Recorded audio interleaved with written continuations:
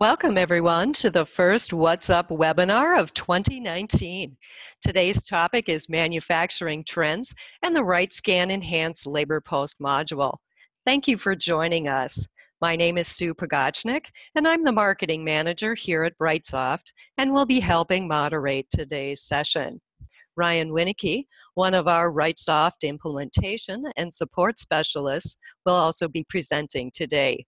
Ryan and I will talk about some of the trends we're seeing in the manufacturing industry. Then, Ryan will show you the new enhanced labor post module that we have in development for riteSCAN. At the end of the webinar, you'll have an opportunity to ask questions. Feel free to submit your questions via the chat window at any time during the webinar.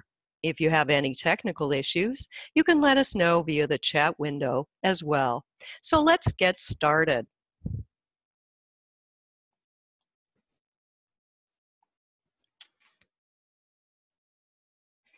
What's happening in manufacturing? Well, when you look at the data, the manufacturing industry is doing quite well.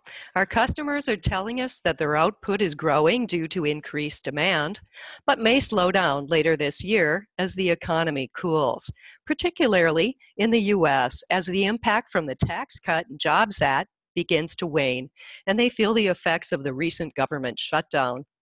According to the site Trading Economics, U.S. manufacturing production rose 2.9% year over year as of January 2019.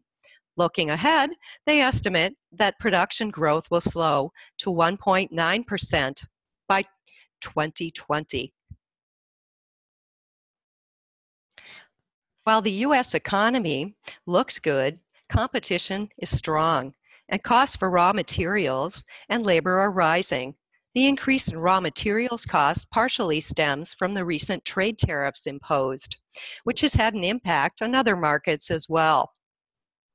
And one of the things that I've actually found quite interesting is this last fall when I actually met with customers in Canada, many of them were mentioning to me that the raw material costs were on an upward trend, some of which really stemmed from the tariffs that were imposed. And this was really making them focus closer attention to sourcing as well as evaluating other areas of their business where they could gain efficiencies and reduce costs. So we are seeing this affect our direct customer base as well. Labor costs are on an upward trend due to rising minimum wages and low unemployment rates. 22 two states enacted higher minimum wage rates in 2019. Our customers are telling us it's really difficult to attract and hire workers with the right skill set, which also leads to higher labor costs. Several markets, including the US, are experiencing a labor and skills gap, particularly with the low unemployment rates. Unemployment hit historic lows of 4% in the US and the UK last year. Unemployment rates in other markets, such as Canada and Australia, are hovering around 5.5%. All around us, we're seeing help wanted signs at manufacturing operations and other businesses. You know, last year, one of our customers told us that they end up poaching employees from nearby manufacturing operations, and those neighboring manufacturers do the same thing in return. According to consulting firm Deloitte and the National Association of Manufacturers, three and a half million manufacturing jobs will likely be needed in the next decade and 2 million will go unfilled due to the skills gap. 80% of manufacturers are reporting a moderate or serious shortage of qualified applicants for skilled and highly skilled production positions. So these market forces create barriers to stronger manufacturing growth. It's easy to see why manufacturers continue to invest in warehouse automation to streamline processes improve efficiency, and drive down costs to compete locally and at the global level, plus address cybersecurity issues. According to a 2018 study by Peerless Research Group, 90% of the manufacturers surveyed plan to either upgrade or implement a WMS system over the next two years. The majority of manufacturers are using some type of warehouse management technology today, but few are fully automated across all warehouse processes. More than half are using some type of barcode scanning solution, but they might be only using barcode scans for selected processes. The majority of receiving and order picking is still done manually. Yes, and interestingly enough, this is one of the areas that many of our prospects and customers when they still come to us are really looking to improve that process and how they can automate, automate that process, but is one of the more challenging ones for them to grasp. Uh, this is one of those areas that customers can really see a tremendous value in automating their order picking and the fulfillment process to ensure the accuracy and timeliness of order processing, but is one of those big hurdles for people to make that commitment and jump to going to an automated system as well. Over the next two years, approximately 60% of manufacturers surveyed intend to work on improving order accuracy, picking efficiency, and finding ways to reduce labor through software and hardware alike. Robotics, voice, and wearable technology, such as label printers, are continuing to emerge. Handheld hardware is evolving as the Android operating system takes hold and Microsoft sunsets the Windows Mobile operating system in 2020, which is right around the corner. Yes, and on a day to day basis, even here at RiteSoft, we're seeing our customer base starting to request more and more about the Android platform and some of the devices that they can start to implement to. Uh, it's really starting to take hold, and we're starting to see that uh, over the last few months. I would say three to four months, we were really seeing the adoption of customers starting to be very curious about the Android platform and starting to think about their next steps with it as well. Clearly, today's manufacturers need to invest in areas that will improve their productivity, strengthen their customer relationships, increase their labor efficiency, and attract enough people with the right skills and talent to help them achieve their growth targets. So they're investing in technology to better align their labor and their production capabilities investing in forecasting systems, workforce and labor management systems, as well as performance dashboards. Well, you can't improve what you don't measure, right? In order to increase efficiency and accuracy, manufacturers need to be able to quickly measure and analyze data. While most have implemented key metrics such as orders or pieces per hour and inventory accuracy metrics, roughly half are doing manual data collection today to gauge productivity. Manufacturers typically have job standards, but when was the last time those standards were updated or individual processes analyzed? Clearly, manufacturers need real time access to better information and time tracking to test against their job standards. Which leads us to our discussion of the enhancements we're making to riteSCAN today with the new enhanced labor post module we have in development that we're planning to call LaborTrack. Ryan? Thank you very much, Sue, and thanks for all the information. Um, so, for people to, imp- in order to improve processes, customers have been asking for riteSCAN to have the capability to simply track time for jobs by punching in and out and job tracking that time that's spent posting it directly into SYSPRO through the labor post module. So, what this new module really allows employees to do is simply track those in and out punches for the day along with those in and out punches for jobs. Operators can simply use the labor tracking module by entering or scanning their SYSPRO employee ID and beginning to work on those jobs for today. So, one of the benefits that we've done is still keeping that methodology of being able to barcode scan and very quickly do what an operator needs to do in the riteSCAN system. So, you could use the module on a per operator basis or even have a terminal that's set up where multiple employees can come into the system, scan what they need to scan, and begin working for the day in a very quick manner and capturing that time out on the shop floor the module is actually able to be configured based on what you want to collect for the job information that's available in SYSPRO. So, in the admin setup of the labor post, customers are able to define if they'd like to collect machine or whether they'd like to correct, uh, collect different rate information when an operator is starting to begin a job. Also, on the flip side of that, when stopping a job, they can configure the system whether or not they may want to capture good quantity or scrap quantity or scrap reason codes. And this is what really allows the customers to define what information they want to collect in the system to make it as detailed as they want or as simple as they wanted with the system. The other benefit that you can actually do with the system as well that goes unrecognized is the ability to capture non-productive information within SYSPRO as well. So bringing in those non-productive codes and allowing your employees to clock in against those non-productive hours so you really know where your employees' time is being spent for the day, all with an application that you may already have implemented in your customers' sites that are using riteSCAN on a day to day basis for other features and functionality, uh, or for new prospects as well. So, what are we going to do with all that? So, in order to improve these processes, customers have been asking for the reporting capabilities as well. Uh, the ability to run reports on transactional data and see specifically what's happening in their system along with riteSCAN specifically. So supervi- supervisors are able to see these reports for employees using the labor track module to view their time clock punches, their break punches, as well as their actual job punches. So this data can be used to compare and analyze employee performance on the amount of hours that they may be being paid for versus the amount of hours that they're actually working on jobs or non-productive things within their operations as well. It really gives you that visual to understand your numbers and really better understand what's going on a day-to-day basis.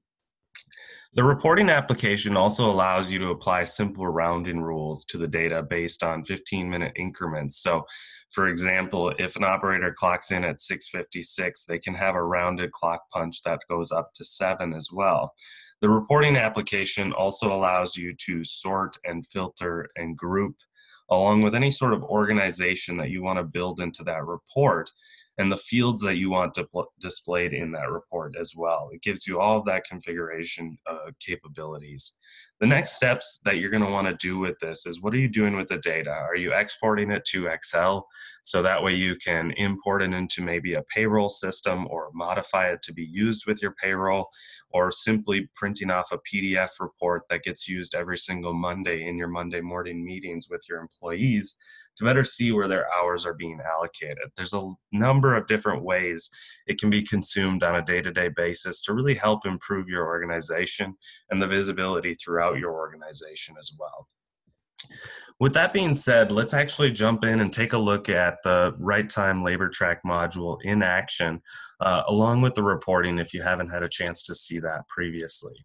So while we do that, I'm just going to switch my screen here and we're going to take a look at riteSCAN. So in the manufacturing area of riteSCAN, you're going to see a labor tracking module.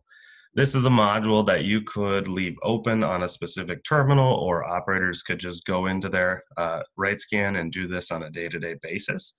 The first thing an operator is going to do is actually put in their employee ID. Now this is the employee ID directly from SYSPRO. Um, so it's associated directly with those employees that are set up in SYSPRO. They can simply scan in that ID, scan it off of a badge, or manually key it in as well. Now you're going to notice the first thing I have the option to do is clock in for the day. As soon as I clock in for the day, it's going to capture that time and allow me to begin working on something. So for example, now that I've clocked in for the day, I want to start a new job. So to start a new job, I can simply scan my job traveler if I have that, or just simply enter my job that I want to work on. Now this is all coming in directly from SYSPRO. So if I view this job, I'm going to see what's been completed so far in SYSPRO, what's the required, uh, what has been done so far from the labor transactions as well. We're going to simply grab it and we're going to work on operation two. Uh, the system has automatically brought in my work center. I have it configured to set up to do that in this way. I'm going to put in the machine ID that I'm working on as well. I have now defaulted my time type to runtime. That's what I want my operators to be using. If I want them to be able to select that information, I can also configure the system to do so. So now that we have our information, we're going to go ahead and start that job. And you're going to notice that it goes into my list of running jobs. Also, if we take a look at the top here, you're going to notice that the operators are able to see their status, if they're clocked in for the day, when they clocked in, as well as the total amount of hours they've spent working on jobs for the day. So it just gives them some quick information about what they're doing. If you allow operators, they can also work on multiple jobs to capture that at the same time. So if I wanted to start working on another uh, job because I'm running multiple machines, I could capture all that time at the same time as well. Now, if I wanted to come out of the system because I'm done in here, I can come in as an operator. So if I'm a different operator now, employee two, they've been working on this job for quite some time. I'm going to come into the system and I want to actually stop the job that I'm working on.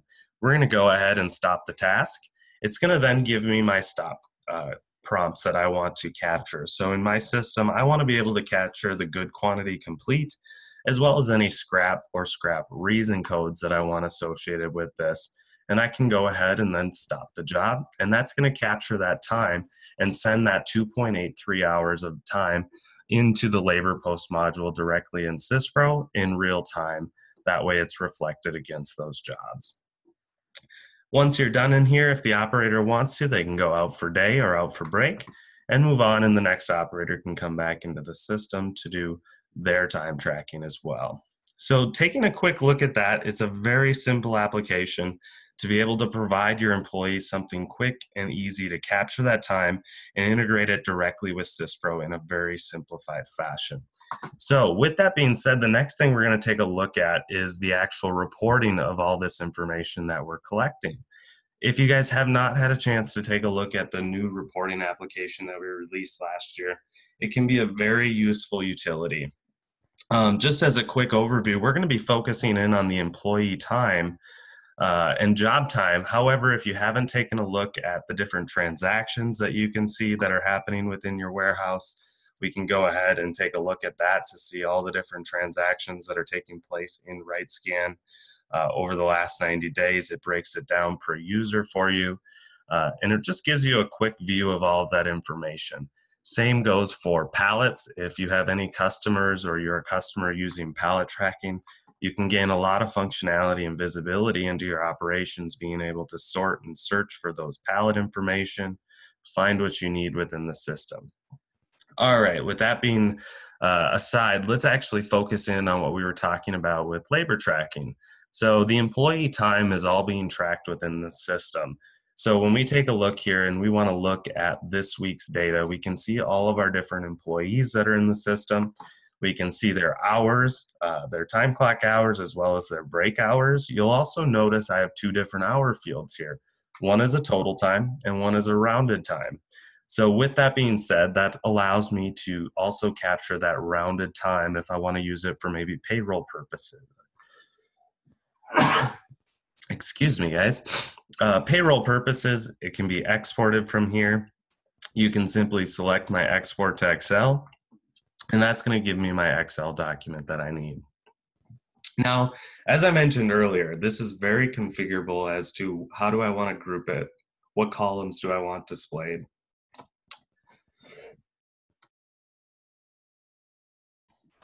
I apologize, guys. I've been battling a little bit of a sickness lately.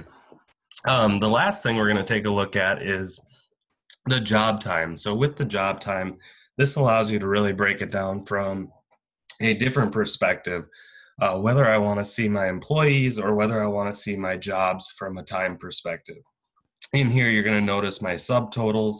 You're also going to notice that I have it grouped by job. If I wanted to see where's my employees' times being spent on job, I can simply go in and change how I want to organize this.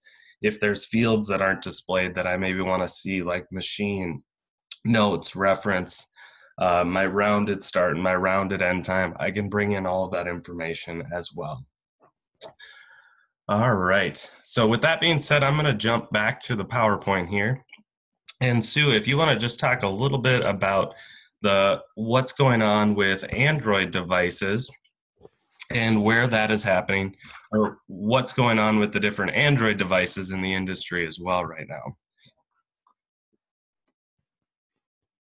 All right. I think as we talked earlier, the hardware industry uh, is driving Android adoption. And as Windows Mobile is being sunset over the next two years, the market's been transitioning to those Android mobile devices that are a lot more cost effective. Uh, they're a lot more lightweight, ergonomically correct, and are offered at a greater uh, price point and offer greater efficiency. So, with all of these enhancements, it's really no wonder that the market is moving towards Android.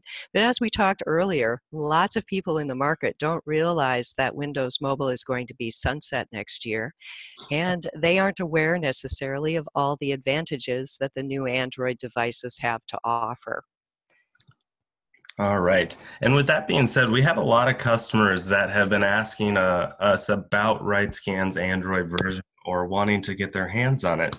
It is available for download. Uh, the Android can be downloaded with our standard riteSCAN package, uh, and there's actually an APK file in there that uh, you're able to install on your Android devices, whether it's a phone, a tablet, or if you actually have an Android handheld device that you want to check out riteSCAN on.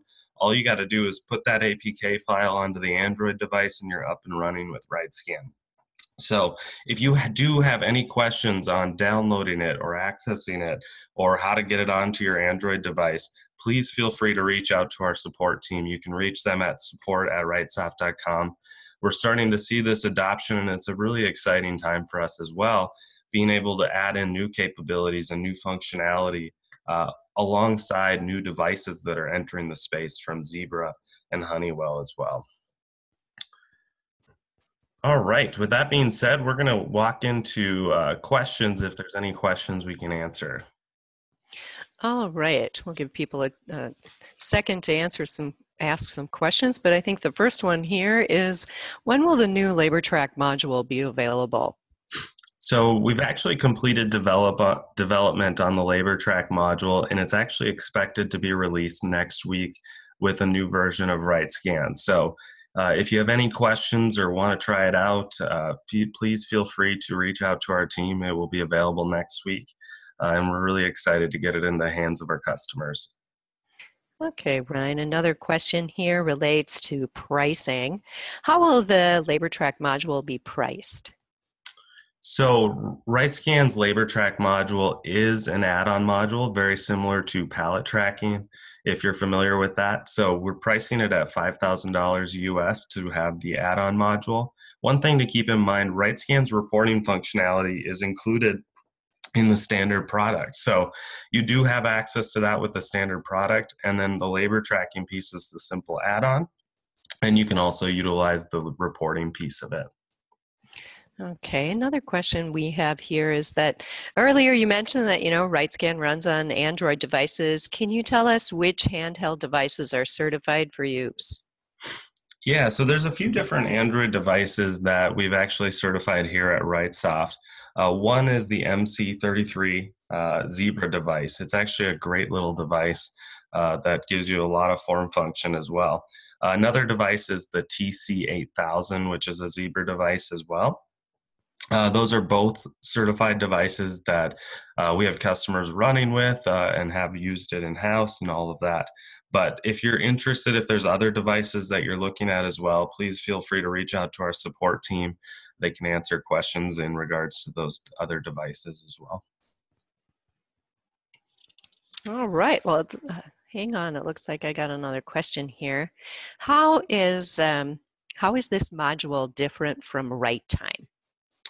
So the difference between this module, what we've really tried to do is include a simplified labor tracking into riteSCAN. So when we look at our, our riteTIME product versus uh, the labor track, riteTIME offers a lot more functionality around rules with being able to provide approvals to uh, supervisors approving transactions, also being able to have multiple integrations. So riteTIME may be integrated to SYSPRO along with a payroll system directly as well. So you could be integrating it from multiple directions. Some of the other things that really separate it are a lot of the rules that are built into right time and the, the logic that you can build in specifically around how you split time for example if i want to split by quantity weighted or i want to split uh, the time evenly between different jobs that people are working on.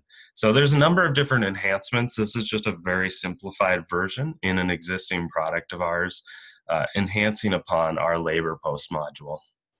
Oh, right, Ryan, there's another question here as it relates to functionality with a new module. Will employees be able to punch in while another user is already clocked in when sharing a terminal? Uh, yes. So, what you can do is a lot of times customers will set up a generic employee uh, that or a generic user that logs into the actual riteSCAN application to leave it up on a terminal and then employee ids are actually able to be used uh, within the application to capture that time so when you notice that i put in that employee id you can have multiple different employee ids share in that and it's not logging them out of the application as a whole just as the out of the labor track portion Okay, that looks like that's the end of our questions, Ryan. All right. Well, I appreciate everyone uh, taking the time with us today to talk about our new labor track module and what's going on. If you guys have any questions or interest of learning more or anything along those lines, please feel free to reach out to myself or anyone from our team. We have our contact information there. Uh, love to have a further conversation if there were any questions that didn't get answered today as well. All right. Thanks for joining us today. Thank you, everyone.